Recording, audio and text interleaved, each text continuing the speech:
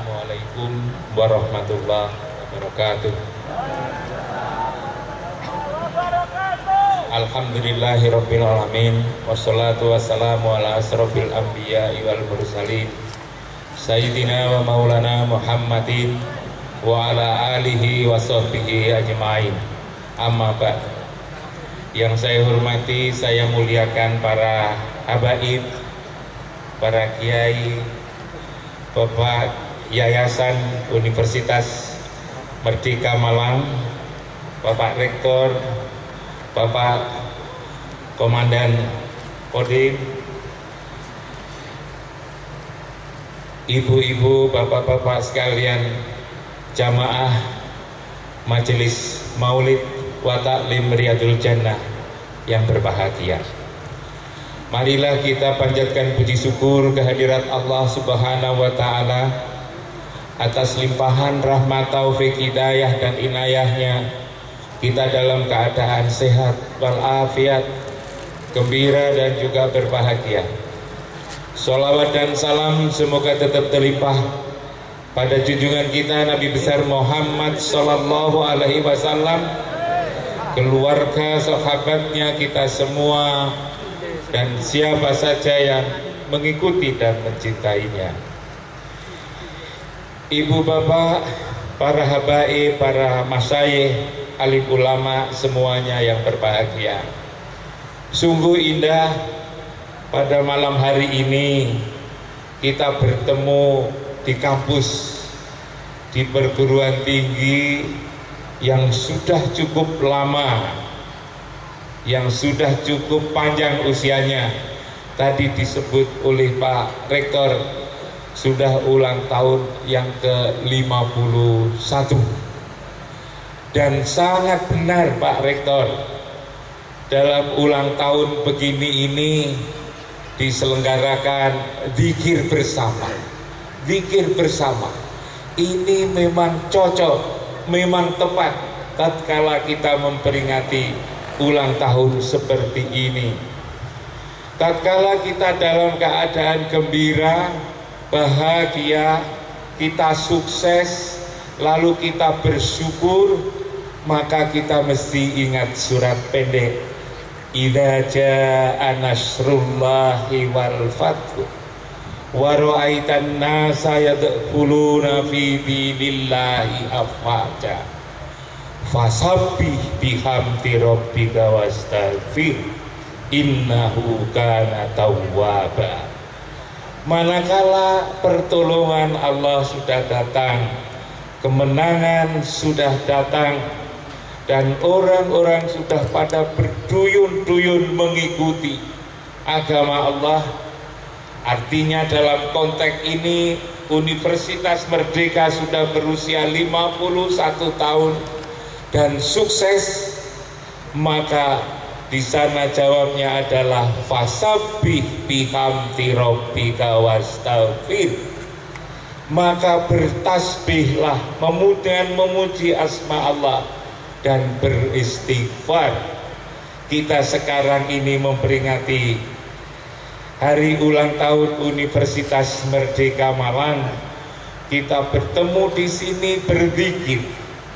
Kalau pada umumnya orang ulang tahun itu diadakan lomba perlombaan catur, perlombaan volleyball, perlombaan sepak bola, dan juga perlombaan-perlombaan yang lain. Maka menurut ajaran Islam itu penting, boleh-boleh saja yang namanya perlombaan. Tetapi yang baku adalah fasabi bihamdi rabbika wastaghfir. Dan ini telah kita lakukan bersama. Kita senang jamaah bikin jamaah majelis Maulid wa ta'lim Riyadul Jannah kita ini senang sekali. Sekarang ini dikir sudah tidak saja di tempat-tempat tertentu tetapi sudah umum termasuk juga di kampus-kampus seperti ini. Kita zikir bersama di Universitas Brawijaya. Kita berzikir bersama di Poltek.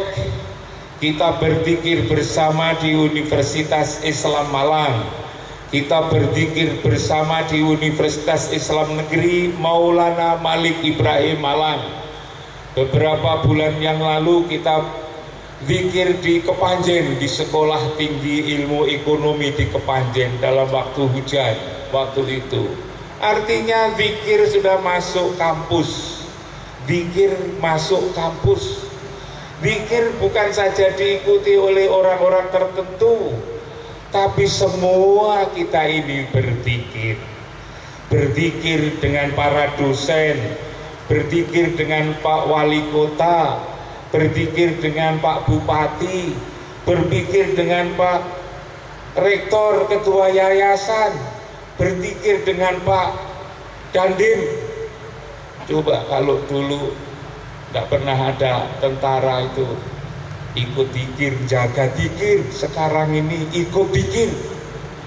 Sampai lalu kemudian juga ikut-ikut pakai kopiah putih. Coba.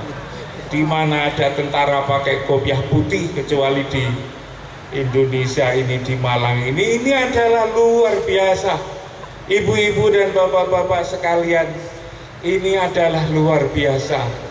Kita berpikir bersama dan kalau kita berzikir bersama begini ini, kita akan tidak saja bahagia tetapi akan selamat. Moga-moga kita selamat di dunia dan juga di akhirat. Ibu-ibu, bapak-bapak sekalian, saya senang sekali masuk di Universitas Merdeka ini. Tadi disampaikan oleh Pak Rektor bahwa kampus ini menjaga keseimbangan antara kegiatan-kegiatan rohani, kegiatan-kegiatan keagamaan dengan kegiatan-kegiatan keilmuan. Pak Rektor mengatakan di sini selain zikir bersama-sama seperti ini juga diselenggarakan istighosa, diselenggarakan kegiatan-kegiatan pengajian. Di sini yang mimpin ke kehidupan keagamaan, pendidikan keagamaan adalah seorang profesor teman saya. Profesor.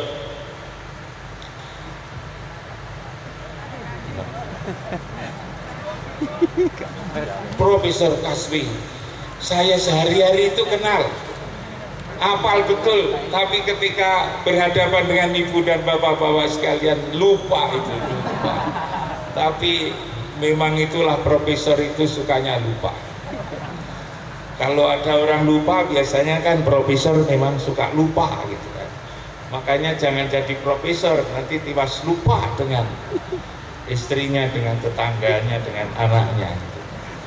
Nah, itulah ibu dan bapak-bapak sekalian, saya senang sekali ada kegiatan ini.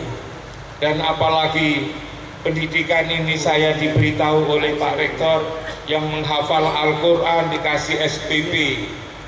Lalu dibebaskan dari SPP yang sekolah diploma juga begitu dibebaskan sampai 100 100 orang apa tidak terlalu banyak itu Pak Rektor katanya masih kurang katanya itu. Maunya semua katanya itu. Maunya itu semua. Lalu kemudian memang bagus. Saya bukan mengajar di sini tapi saya mengakui bagus. Ada tetangga saya kemarin itu saya ceritain bahwa besok saya akan ngaji memberi ceramah mau itu hasanah di Universitas Merdeka. Tetangga saya mengatakan Pak anak saya dulu juga kuliah di Umur bisa lulus enggak sakit. Saya ini saya ini kerja enten putih saat ini ini enten beberapa tawaran katanya. Fakultas teknik. Tawaran di Pesuruan di perusahaan. Lalu kemudian ada tawaran lagi di Tangerang. Oh ternyata kalau begitu Unmer ini lulusannya jadi rebutan Unmer ini ternyata lulusannya sudah jadi rebutan. Kalau ada orang mengatakan lulusan perguruan tinggi itu banyak yang nganggur Maka itu adalah kecuali Unmer itu. Tak kabarkan ini kecuali Unmer. Buktinya tetangga saya lulus dari sini Belum lama sudah jadi rebutan Diterima di Pesuruan diterima di Surabaya katanya diterima di Tangerang. Memang orang tuanya dia cerita bahwa apa namanya mencari yang yang diurus secara sungguh-sungguh. Katanya kelasnya tidak terlalu besar lalu kemudian pelayanannya menjadi bagus. Dia mengatakan pokoknya katanya anak saya itu kalau sudah punya pilihan lalu lurus lurus. Sudah milih ini yakin lurus. Saya bilang kalau tidak lurus masih nolah-noleh kok kalah dengan rusa tak bilang. Kok kalah dengan rusa? Rusa itu kalau jalan itu cepat sekali. Kijang dan rusa kalau lari itu kencang sekali. Jamaah Riyadul Jannah ini tidak akan bisa ngejar rusa. Jangankan kita macan saja itu kalau disuruh ngejar rusa itu tidak bisa kenapa? karena larinya macan itu tidak lebih cepat daripada larinya rusa rusa lebih cepat daripada macan atau singa tetapi rusa ini sering kali diterkam oleh singa oleh macan kenapa? karena ada kesalahan yang selalu dilakukan oleh rusa apa kesalahan itu? rusa itu kalau lari cepat itu lalu mandek lalu nolah-noleh. Rusa itu kalau lari kencang itu lalu mandek lalu nolah-noleh. Nolah-noleh inilah lalu kemudian diterkam oleh singa. Karena itu kalau kita sudah punya apa punya kemauan menghadapi sesuatu menyelesaikan masalah maka tidak boleh nolah-noleh. Majelis dikir juga tidak boleh nolah-noleh nanti kalau nolah-noleh jadi gagal. Jangan mengikuti kesalahan daripada si rusa itu. Itu yang pertama. Kita menjadi senang menjadi bagian dari majelis ini lalu zikir sudah masuk kampus-kampus. Yang kedua ibu dan bapak-bapak sekalian kita ini menjelang bulan puasa. Tadi juga sudah disampaikan menjelang puasa. Saya sering kali ditanya itu oleh mahasiswa saya, lalu juga oleh jamaah saya. Pak Profesor gitu, Profesor Imam, kalau menjelang puasa ini apa yang Profesor laksanakan? Tidak tahu ini apa Profesor ini dites, apakah lalu kemudian hanya main-main atau pertanyaan ini sungguh-sungguh. Selalu saja menjelang bulan puasa saya mesti ditanya begitu. Ini mungkin beberapa hari juga begitu akan ditanya saya. Jawaban saya akan saya umumkan sekarang. Jawaban saya begini. Setiap menjelang puasa saya punya pekerjaan rutin ialah ziarah kubur. Ziarah ke makam ibu saya dan ke makam ayah saya. Itu yang selalu saya lakukan. Pertanyaannya adalah mengapa kok istiqomah seperti itu? Saya iri. Saya iri dengan orang-orang yang selalu didatangin oleh jamaah sekian banyak termasuk juga Rasulullah setiap kali saya haji atau saya umroh maka saya melihat pemandangan yang begitu indah. Tatkala saya ke Madinah lalu di Madinah sana orang mesti ziarah makam Rasulullah. Tatkala orang ziarah ke makam Rasulullah di Masjid Nabawi di Masjid Nabawi karena tempatnya sempit maka lalu orang berebut tempat itu dari negara mana pun siapa pun orangnya tatkala ziarah makam Rasulullah maka selalu berebut di situ. Sampai kalau tidak dijaga oleh tentara di sana maka akan jadi kacau. Diperebutkan ziarah ke makam Rasulullah itu siapa pun yang datang ke Masjid Nabawi itu. Dari negara mana pun asalnya pasti berebut untuk ziarah makam Rasulullah. Lalu kemudian kalau di Indonesia ini Orang di Indonesia ini biasanya suka ziarah para wali.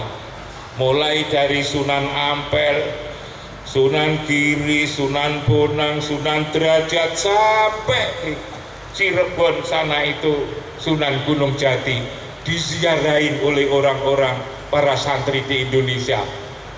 Maka lalu kemudian saya bertanya, kalau Rasulullah itu diziarahi oleh orang seluruh dunia umat Islam, kalau para wali itu diziarahi oleh orang-orang di Jawa dan juga di Indonesia ini, maka ada pertanyaan penting pada diri saya.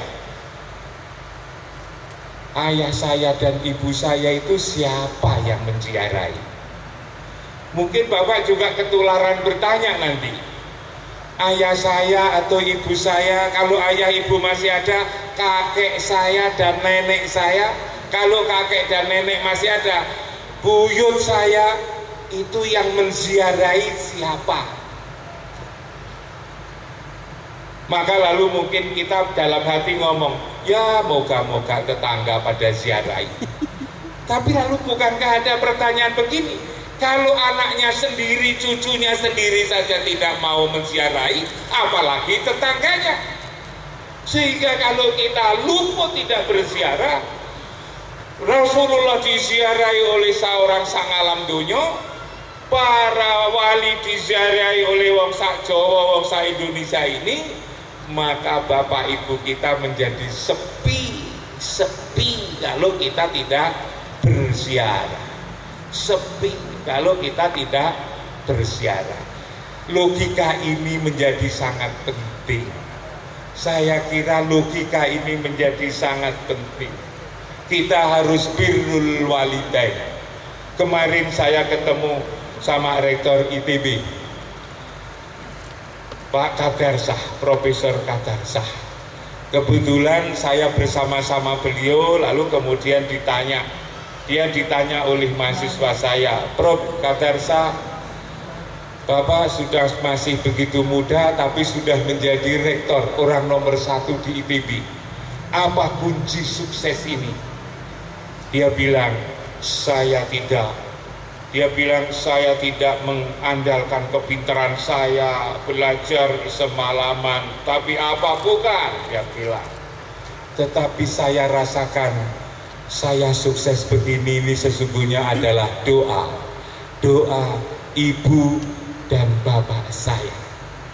Karena itulah, tak kala ibu dan bapak saya sudah wafat, saya harus setiap menjelang bulan puasa berziarah ke makam beliau itu.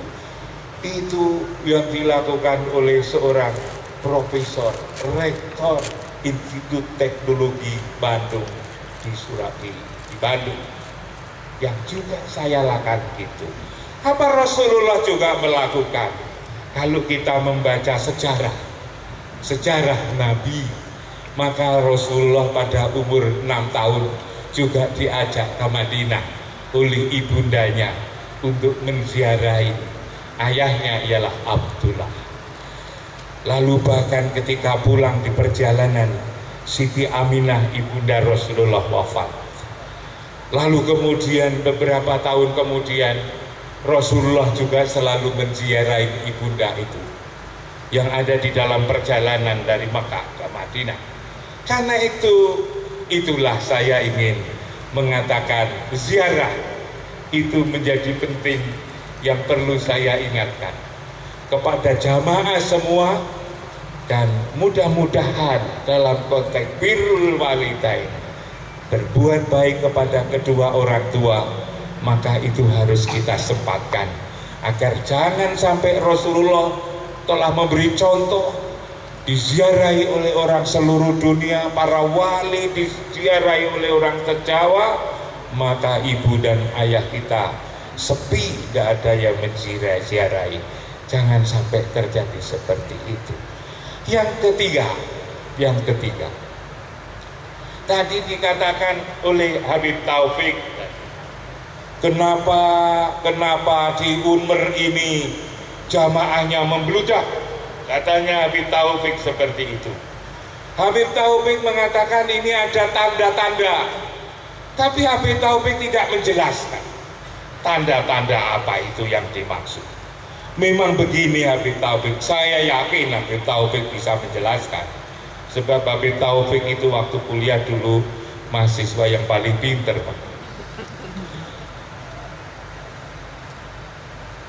Penjelasannya begini, menurut saya. Orang biasanya mengatakan bahwa semua tempat itu sama, semua waktu itu adalah sama. Karena itu termasuk ziarah kubur, kenapa harus ziarah? Kenapa tidak diundurkan dari rumah aja? Saya katakan bahwa tidak sesungguhnya. Tidak semua tempat itu sama. Dan tidak semua waktu itu sesungguhnya sama. Tidak. Ada tempat-tempat pilihan ini tentu ada aura, aura yang menjadi kekuatan hingga ibu hadir di tempat ini. Tidak sama tempat itu. Kalau ibu dan bapak-bapak sekalian mempelajari sejarah para nabi, sejarah para nabi, tidak ada itu nabi yang dilahirkan di Malang Selatan itu tidak ada. Tidak ada yang dilahirkan di Poncokusumo, lalu di Batu, lalu kemudian di tidak ada, di Kediri, di Blitar tidak ada. Para Rasul itu dilahir itu di daerah-daerah tertentu di daerah-daerah Timur Tengah. Yang ada di Mesir, yang ada di Saudi Arabia, lalu kemudian ada di Yaman. Di Yaman sana ada makamnya Nabi Hud, ada di Jordan itu ada Nabi Su'aib lalu di, di seputar itu tidak pernah ada di luar itu karena itu memang tempat-tempat itu adalah tempat-tempat tertentu yang khusus. Kalau di sini didatangi oleh banyak orang ini sesungguhnya juga punya begitu daya tarik tersendiri. Coba tidak saja para nabi. Kita itu ada kegiatan dalam Islam itu adalah umroh sama haji.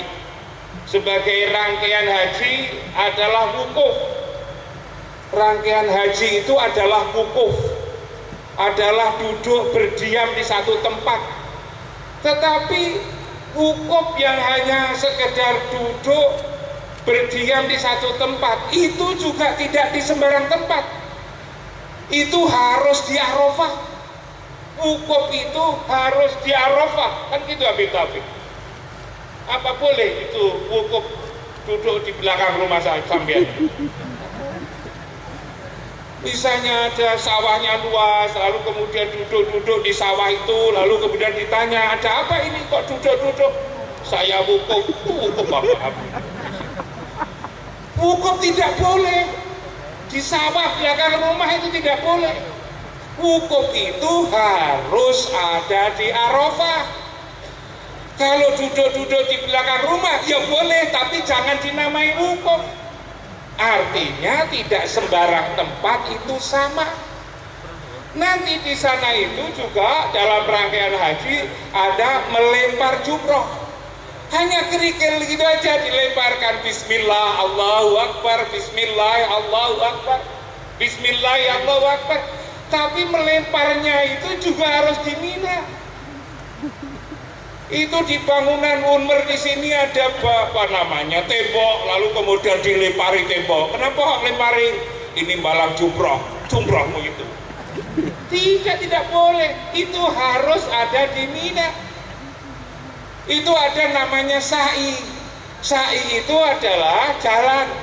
Hanya jalan mundar mandir dari sofa ke marwah sofa ke marwah. Ini kan jalan ini lurus kalau ibu bapak dari sana jalan ini ke sana lalu balik lagi ke sana. Lalu kemudian balik lagi tujuh kali. Kami kok bolak balik di sini ada apa? Saya sa'i sa'imu itu. Sa'i tidak bisa di sembarang tempat sa'i itu juga harus di Mekah sana itu. Jadi dari sini saja. Bulan puasa Ramadan juga tidak bisa sembarang waktu. Karena itulah maka saya hanya ingin mengatakan bahwa tidak benar orang mengatakan bahwa di mana saja dan kapan saja itu adalah sama. Di semua tempat adalah sama. di semua waktu adalah sama terlalu sembrono kalau nanti kalau dipercaya itu orang di depan ini akan dijadikan tempat sa'i di belakang rumah akan dijadikan tempat wukuf lalu kemudian menjadi kacau orang tidak mau naik haji ke sana cukup di belakang rumah begitu juga tatkala kita ziarah kubur apa salahnya kita datang ke makam untuk melakukan mendoa, merenungkan tentang kehidupan, memuliakan ibu dan ayah kita yang lagi sudah wafat itu. Itu yang ketiga. Saya rancang itu empat tadi. Jadi kurang satu. Nanti kalau panjang-panjang eh, diminta untuk ceramah lagi tidak ada bahan. Soalnya kan sering-sering ditugasi. Yang keempat begini, karena ini berada di UNMER, berada di UNMER, Universitas Merdeka, perguruan tinggi yang sangat kita cintai ini, karena kita juga sudah menjadi bagian daripada Universitas Merdeka. Kita doakan, kita zikir di sini, maka akan lebih tepat kalau saya sedikit bicara tentang pendidikan agar keseimbangan itu lalu bisa dikembangkan bicara tentang pendidikan. Pendidikan ini Ibu dan Bapak-Bapak sekalian, ini bukan sederhana. Mendidik orang itu tidak sederhana sesungguhnya. Manusia itu terdiri dari bagian lahir dan bagian batin. Karena itu tidak cukup lalu diserahkan sekolah, dicerahkan universitas, lalu kemudian juga diserahkan kepada pondok pesantren Pendidikan ini kalau Allah Rasulullah maka meliputi paling tidak itu empat hal sesungguhnya. Empat hal itu apa? Empat hal itu yang pertama, anak-anak kita atau juga anak-anak yang kita didik itu diajak untuk memperhatikan alam ini.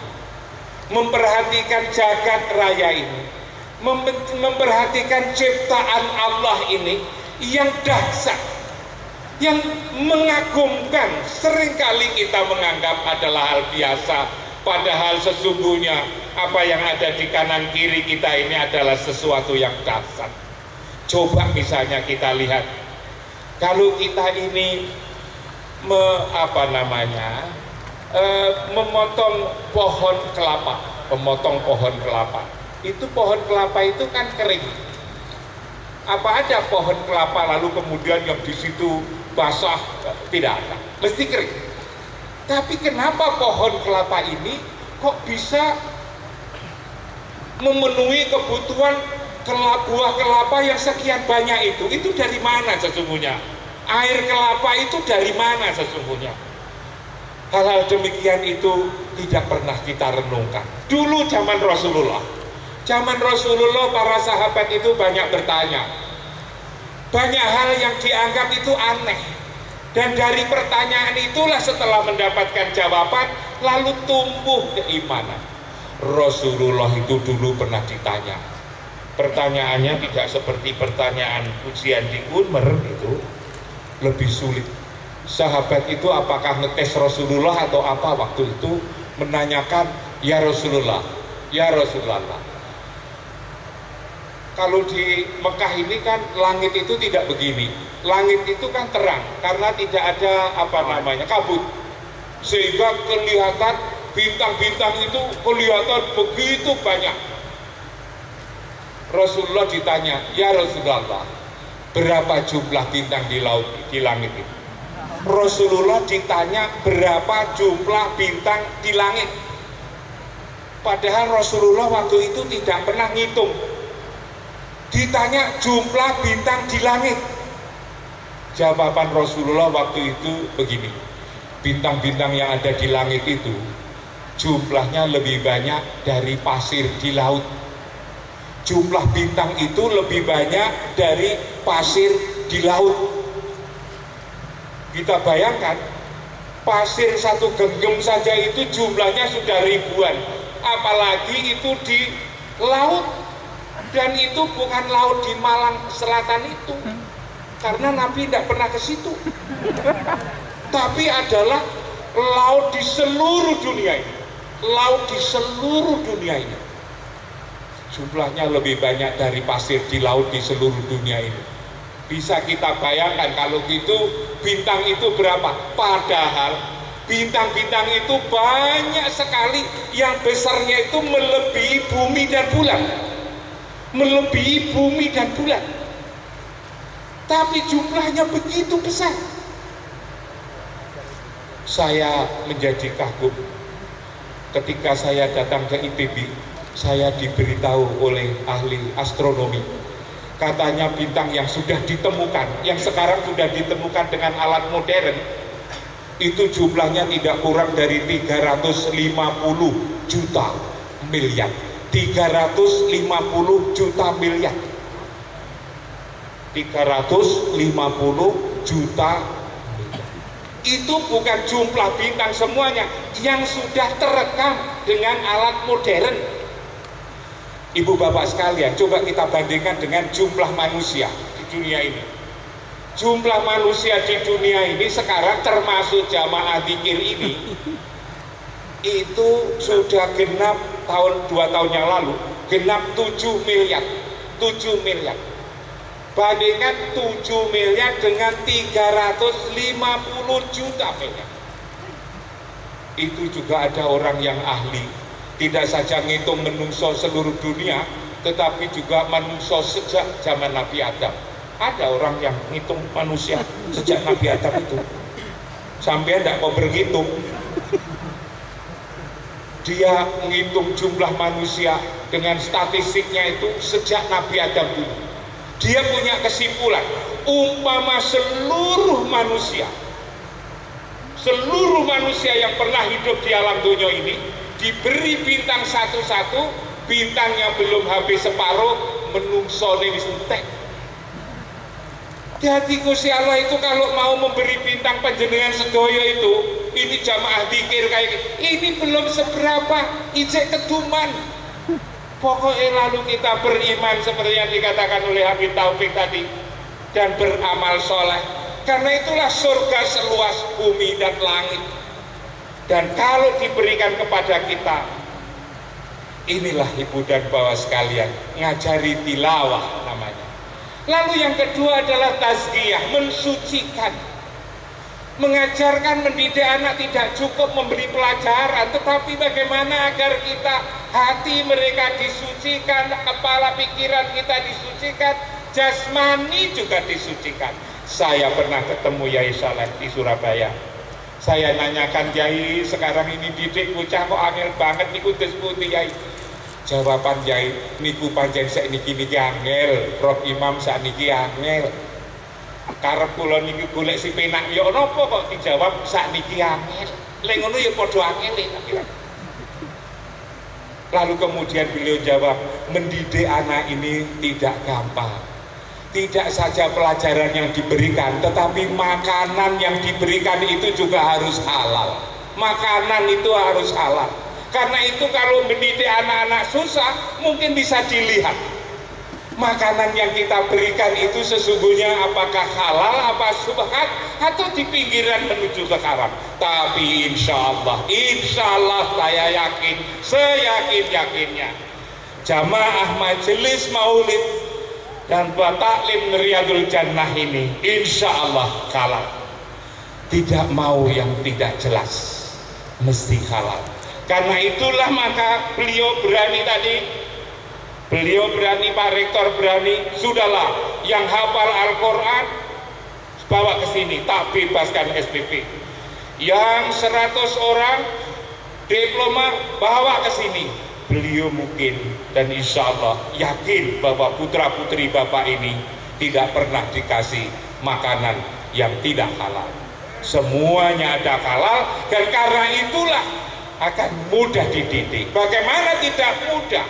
Makanannya sudah halal lalu ibu dan bapaknya setiap malam lalu ikut zikir memohon kepada Allah seperti ini insya Allah yang dimasukkan ke unmer akan menjadi anak yang soleh dan soleh. Lalu kemudian yang ketiga adalah wa yu'allimuhumul kitab. adalah mengajari Al-Quran. Yang pertama adalah tilawah, tazkiyah, yang ketiga adalah wa yu'allimuhumul kitab, mengajari kitab Al-Qur'an.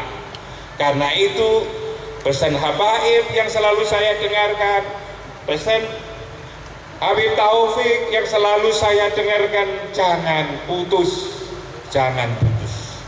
Jangan putus membaca Al-Qur'an setiap hari Bahkan ketika suatu saat saya datang ke kampungnya Imam Al-Ghazali di Tus, saya tanya, di kampung ini orang kok pada hafal Al-Quran semua, ini caranya gimana? Katanya ada ada ada ada cara agar orang itu cepat hafal. Saya dapat di sana itu. Agar anak-anak kita itu dekat Al-Quran dan cepat hafal itu apa? Itu caranya. Katanya hanya ada dua yang satu, jangan pernah putus wudhu. Jadi orang itu agar apalannya itu cepat, Pak Rektor. Katanya itu jangan putus wudhu. Kalau itu batal, wudhu lagi, batal, wudhu lagi, batal, wudhu lagi. Karena itu kalau di sini ada padasannya banyak, itu anak-anak itu akan bisa wudhu lagi. Itu penting, selalu menjaga uh, apa namanya tidak hadas. Yang kedua, agar cepat hafal, tidak sulit juga, ialah jangan putus sholat malam. Jangan putus sholat malam. Yang satu, jangan putus wudhu. Yang kedua, jangan putus sholat malam. Kalau dua hal ini, yang ringan-ringan ini, katanya ringan, sholat malamnya itu yang sering kali tidak putus karena memang tidak pernah sholat tapi kalau jamaah riyadul jannah insya Allah lah itu kan bisa itu kan yang lain-lain yang tidak ada di sini dan dengar insya Allah kalau jamaah riyadul jannah sholat malamnya ini dua hal ini katanya. Lalu kemudian ditambah satu lagi tambahan. Katanya itu kalau lihat lain jenis itu jangan lama-lama. Kalau bapak-bapak lihat ibu yang bukan istrinya itu jangan. Kalau tidak sengaja gitu boleh lah namanya tidak sengaja tapi setelah lihat itu jangan malah diteruskan gitu loh kalau ibu-ibu bapak lihat bapak-bapak juga begitu. Jangan lama. Itu apa? ganggu hafalan Al-Quran. Karena itu dulu saya pernah mengundang Syekh Surem Imam Masjidil Haram untuk ke Malang. Beliau pesan aku mau datang ke kampusmu asalkan aku tidak ceramah di hadapan para mahasiswimu. Waktu itu saya sanggupin. Setelah itu lalu kemudian ceramah. Setelah selesai sama tanya pada saya mana ini yang wanita? Apakah kampus ini isinya laki-laki? Tapi ya tidak tapi lalu yang perempuan ke mana? Loh, kan tak boleh datang ke sini. Ya tak simpen di asrama sana. Dia lalu mengatakan antum rojulun kawiyun kamu ini laki-laki yang kuat. Bisa menyimpan perempuan ribuan katanya. Alhamdulillah maksudnya ini adalah saya beri contoh memberi contoh betapa pentingnya sesungguhnya kita menjaga untuk tidak begitu ini. Lalu kemudian yang keempat adalah hikmah. Al-Quran Islam mengajarkan mengajari bahwa mendidik itu adalah sampai tidak saja kaya ilmu tetapi juga arif. Di Al-Quran memerintahkan tidak saja kaya ilmu bisa menjawab soal-soal tetapi diajari Al-Quran dan bahkan setelah itu sampai kepada tingkat kearifan. Itulah pendidikan Islam. Mulai dari tilawah tazkiyah wa yuzakkihim wa yu'allimuhumul kitab wal manakala ini kita laksanakan dan insya Allah telah kita laksanakan seperti ini maka insya Allah anak-anak kita akan menjadi anak yang soleh dan soleh menjadi bekal kehidupan kita selama di dunia dan di akhirat. Kalau saya simpulkan apa yang saya sampaikan. Yang pertama saya ayolah kita bangga dengan memiliki UNMER ini. UNMER membuka pintu lebar-lebar.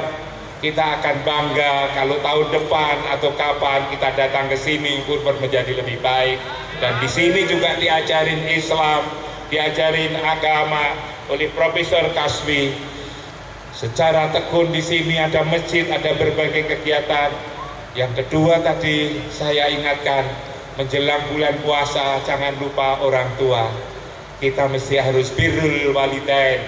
Yang ketiga bahwa keyakinan banyak orang sementara orang mengatakan tempat dan juga waktu itu sama sesungguhnya tidak karena itu kalau sama kita bisa umroh di belakang bisa bisa wukuf di belakang rumah. Padahal itu tidak boleh. Kita bisa sa'i di sini itu tidak boleh. Sa'i harus datang. Tempat itu berbeda.